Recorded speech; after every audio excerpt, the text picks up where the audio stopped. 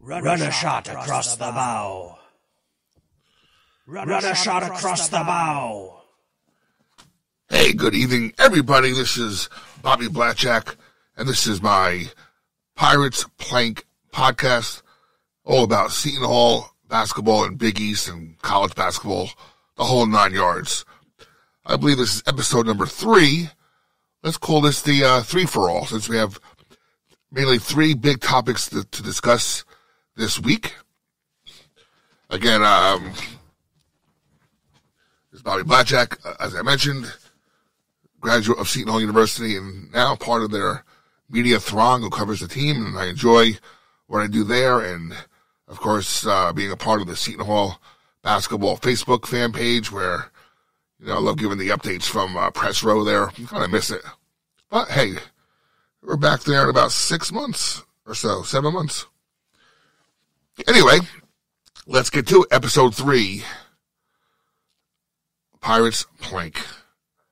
Let's start off with um, congratulating fellow Seton Hall alum Danny Hurley on winning the national championship Monday night with the UConn Huskies, um, who, with uh, I believe win number five, I believe uh, it was CBS Sports. So I I enjoy reading um, and and you know, reading their content and whatnot and analyzing you know, the stories and, you know, come up my, my own thoughts, obviously. But, uh, I like them more than ESPN. But I believe, I believe CBS Sports now lists UConn as a blue blood in the sport of men's collegiate basketball with their fifth title. Um, hey, Danny Hurley did not have it easy. As we know, he came to Seton Hall, um, you know, he had a bit of a bout of depression midway through his tenure with us as our point guard.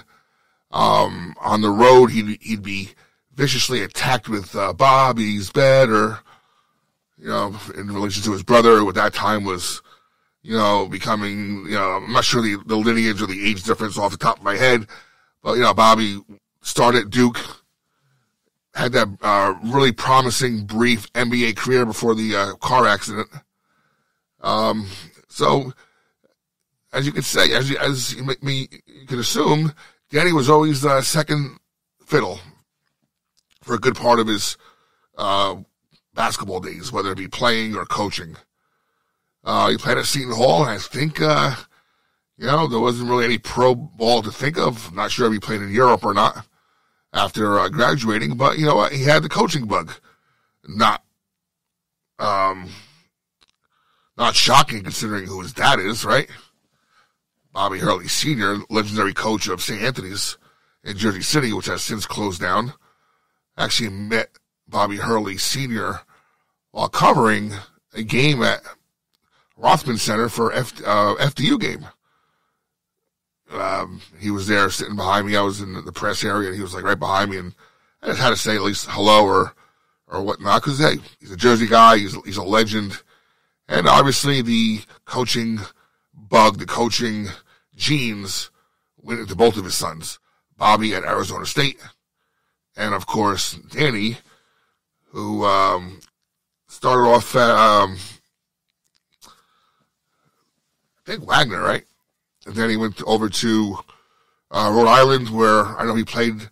He coached uh, some of some of Elm Park's finest uh, basketball family, Daticas. One of the Daticas went there and played under Coach Hurley out in uh, Rhode Island. And then, uh, you know, eventually makes his way down to Storrs, Connecticut, UConn, who, not surprisingly, rejoins the Big East a couple years ago. And I thought it was kind of amusing that UConn never won a game um, no, I'm sorry, never didn't lose a game outside of the Big East. All their losses this year came within the Big East. Of course, one of those losses were from our Seton Hall Pirates. I know a few people posted in the in the group that hey, uh, we uh, we beat the uh, national champions, but you know we're still f- way far away from what um, UConn can do. Um, and you know what? another uh, post had I, I remember seeing uh, stated something like, "Ah, you know what? I'm happy for UConn. At least not. At least it's not Villanova." Exactly. I'm tired of seeing Villanova win. I don't care if Jay Wright's there or not anymore. I do not want to see Villanova and their smugness anymore at the top of the charts. Hopefully, it's our time eventually. You know, I, I mentioned this to uh, a little group of um, you know uh, moderators and stuff that uh, from the page, and you know, I want to celebrate like those fans celebrated in Houston, you know, for UConn. Of course, we'll never know for the COVID year. You know, I'm not going to keep bringing that up, but uh, that might have been our chance. But maybe there's one coming with our our new you know Coach Shaw and his his methods and his madness. Maybe that's coming to us as well. Maybe we'll be the Florida Atlantic soon. By the way, Florida Atlantic, uh, Nick Boyd, my guy, my guy Nick Boyd, say um, Mary's Rutherford, they're bringing back all their starters next season. So you know, while they they fell a shot short, one point loss there in the Final Four, you know, yeah, an ungodly what thirty six and five, something like that this year. So they're on the map now, folks, and Florida Atlantic could make another run again. But this is about Danny Hurley and UConn. Yeah, congrats to a fellow alum. Always good to see a fellow alum do great things. The way Arturas Karnisovas is the, you know, guy running the Chicago Bulls, or, you know, one day we're gonna we're gonna be we're gonna proudly call Adrian Griffin head coach of an NBA franchise soon. Always good things. Um, now, if there's a if there's a bad side, a negative or a bad taste to UConn winning the national championship, is that uh, Sanogo should have been ours. Sanogo should have been our power forward to dominate in the paint, as we so dearly need some bigs on our team, which I'll get to in a moment, and uh, one of our three topics this evening.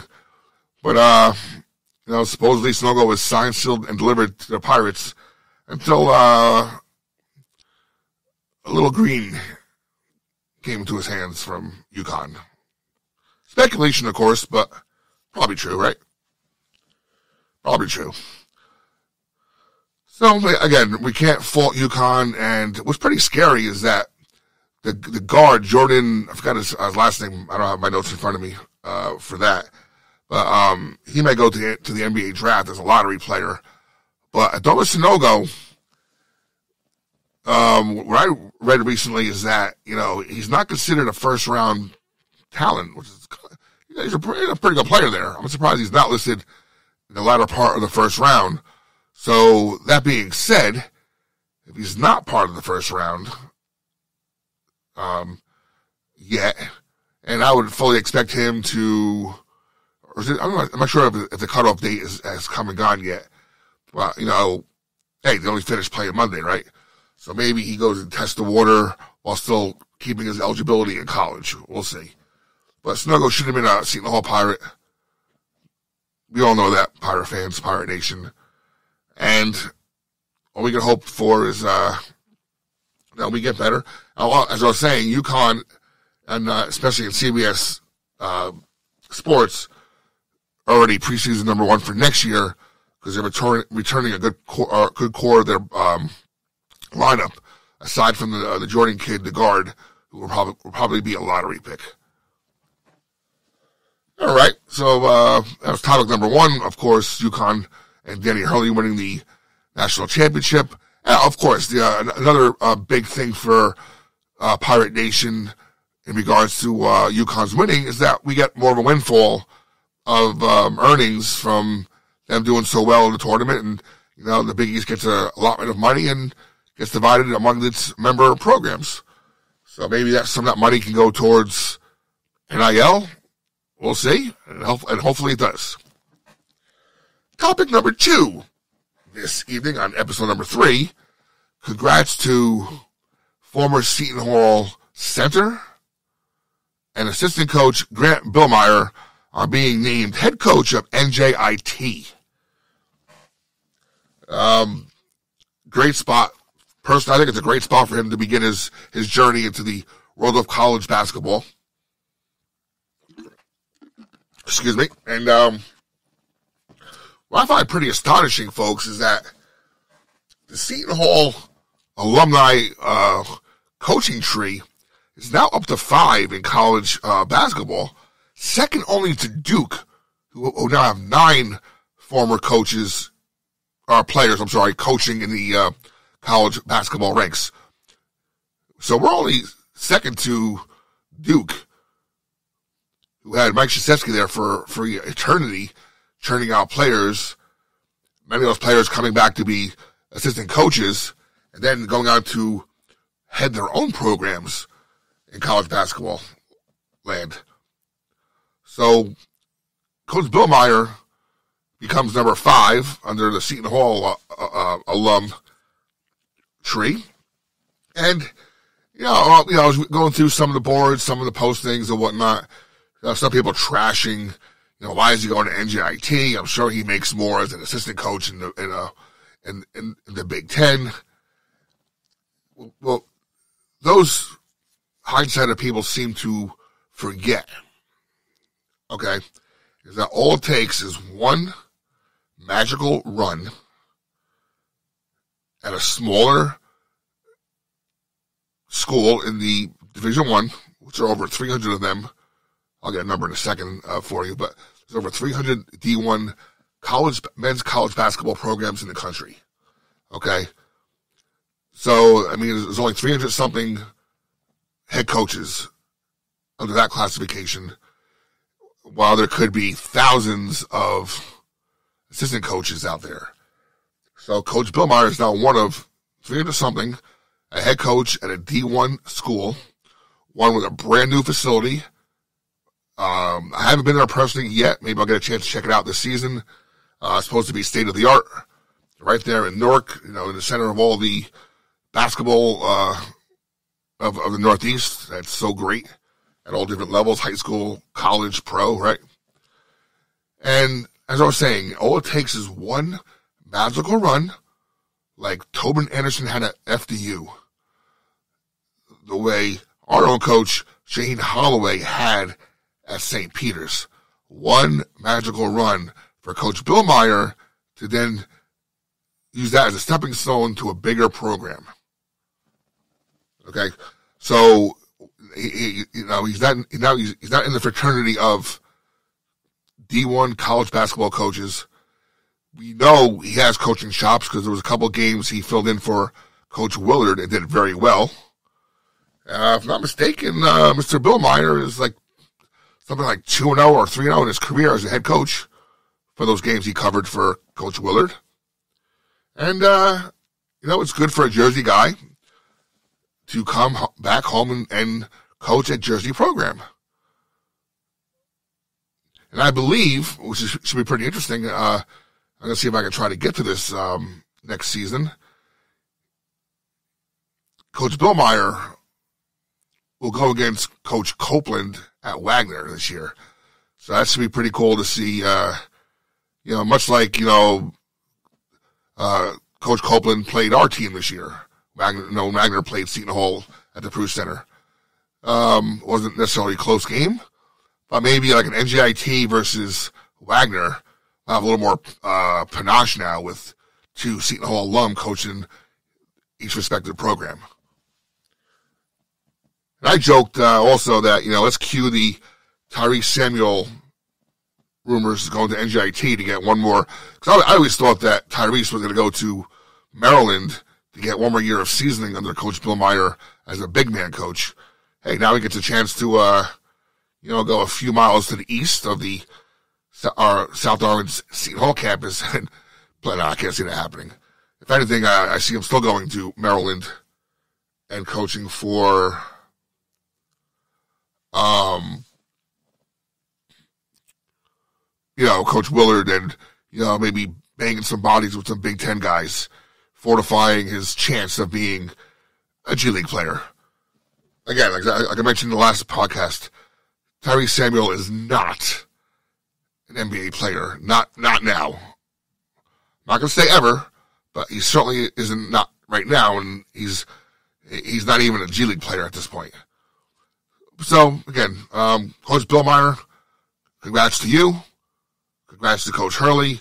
Those are two big coaching um, uh, tidbits of this Pirates Plank podcast, episode three. And hey, if you're a Seton Hall Pirate like I am, Pirate Nation, be proud. There are now five of us out there coaching D1 programs, second only to the hated Duke program. All right, my last uh, bit of information this evening would be our, our recent signing. Okay? Hold on one second. One second here. Oh, by the way, I noticed also today, um, not to get off topic, but I noticed also that they released the matchups for the Big East Big 12 um, pairings uh, next season, and we traveled to Baylor University. I don't know why. I don't know. I don't know what the rhyme and reason is. I, I guess it's. I, I, don't know. If anybody knows, please let me know or respond in the comments. But uh, I'm guessing it's it's level of play. Like you have UConn playing Kansas, right? So maybe you know, we're maybe maybe a middle of the pack program still, which is hard to believe because uh, you know we have so many holes to fill at this moment.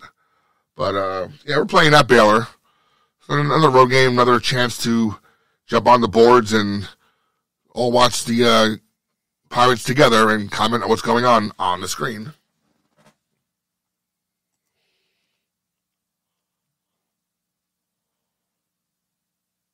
All right, so um, again, so David Tubek, item number three this week. David Tubek, a consensus three-star player, has signed on to the Pirates uh, class of 2023, listed as a small forward slash power forward, six eight, but a late bloomer to college basketball. Kind of seems like, wasn't that the same thing with uh, Ike, right? He was a late starter. He played soccer in his country, I believe, before maybe even uh, Romaro Gill, too. But, um, sorry, so we have our first signing. Um, hey, to me, it's a body. It's a body that Coach Shaw can develop. It's a obviously he's a, he's a player that was on a lot of teams' radar because um, he had uh, he had offers from schools like before the process before he committed to Memphis. Memphis is, uh, as we know, Penny Hardaway, rising program. You know, um, we beat them this year actually, but they did make the uh, tournament.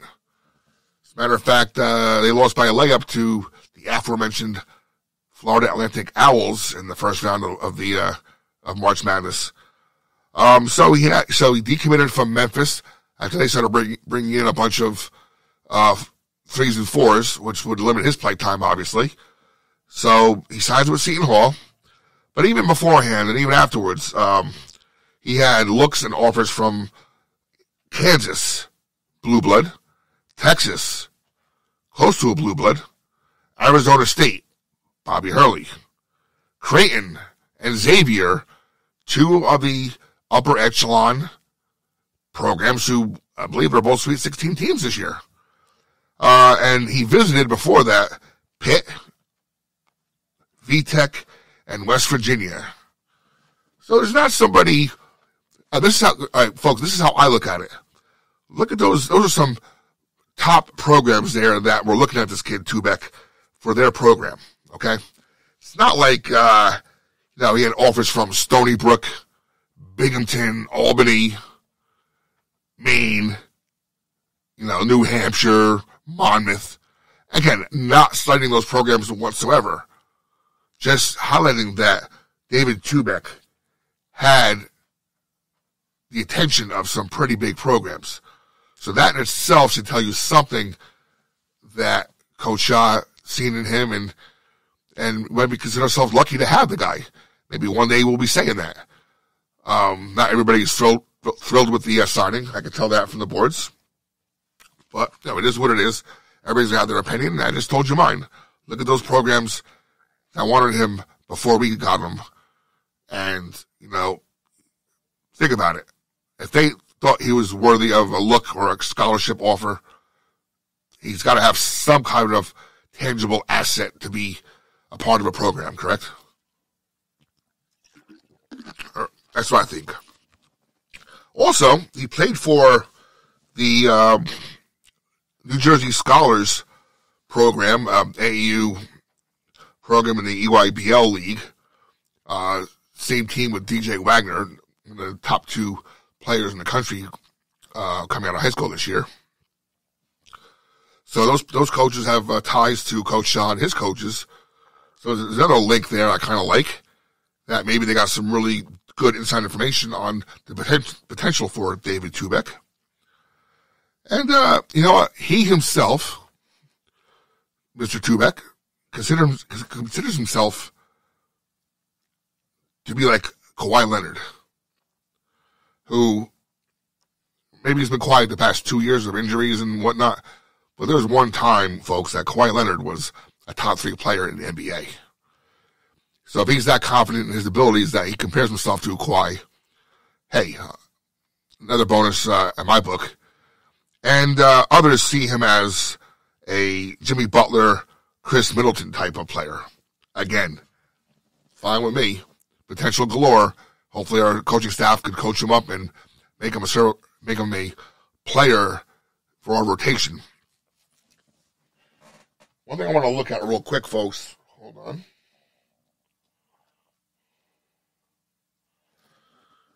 Uh, now, I saw a chart earlier. Somebody posted a chart of the current scholarship situation in for the Pirates. And, you know, we can, again, we all know we can use some bigs. I believe the only true power forward we have right now, technically, is Dre Davis. Right? So, hey, maybe Tubek can come in and learn this year. Of course, play. Of course, get some uh, some run in, learn, give us some minutes uh, off the bench, and uh, give us some minute and, and be a player. And Dre Davis, as everybody had seen this year, folks, to me, he was the glue guy on the Seton Hall team. When he was out for an extended period of time in the middle of the season, Dre Davis, the team suffered. When Dre Davis played, the team did well.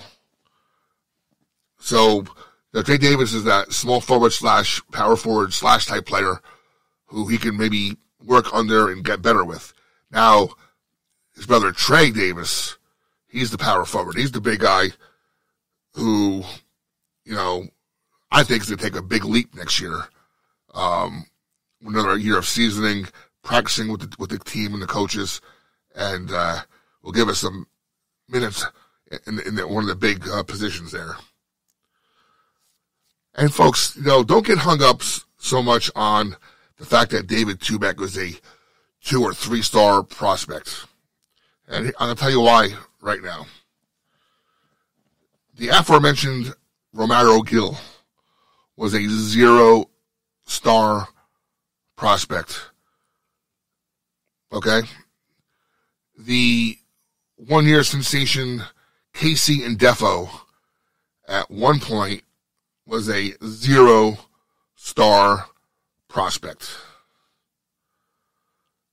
So what does that tell me, folks?